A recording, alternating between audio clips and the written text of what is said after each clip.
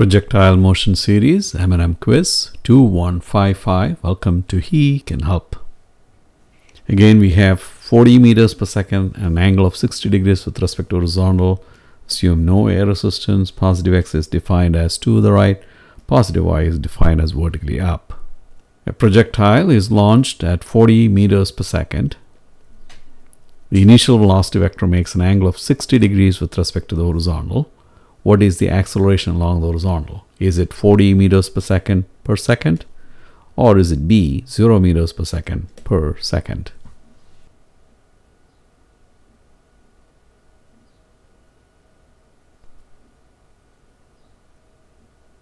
For the horizontal component of the initial velocity vector to change, there must be a cause.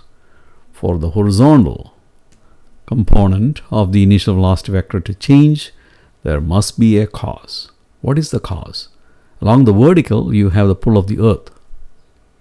Along the horizontal, what is the cause? Nothing. In the absence of a cause, we expect no change for the horizontal component. At all points of the trajectory, the horizontal component stays the same at 40 cosine 60. 40 cosine 60.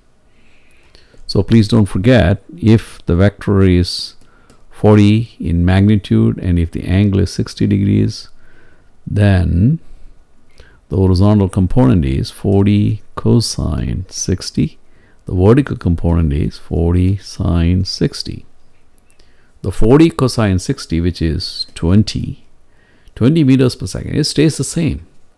So at all points of the trajectory at all points of the trajectory you have the same horizontal velocity component. And what is that? It's 20 meters per second. 20 meters per second. 20 meters per second. So even at the maximum height, it's 20 meters per second. 20 meters per second. 20 meters per second. 20 meters per second. So because the horizontal component of the velocity vector does not change, your acceleration has to be then zero. If there is no change, what is acceleration? 0. Please don't forget this is along the horizontal, not along the vertical. Along the vertical, there is a non-zero acceleration, and that is the acceleration due to gravity. Along the horizontal, no change. The horizontal component stays the same forever. At all points of the trajectory, the horizontal component stays the same at 40 cosine 60. And what is that? 20 meters per second. The horizontal component stays the same at 20 meters per second. What is the change? The change is 0 if horizontal component is a constant. So what is the acceleration along the horizontal? It is 0. It is 0.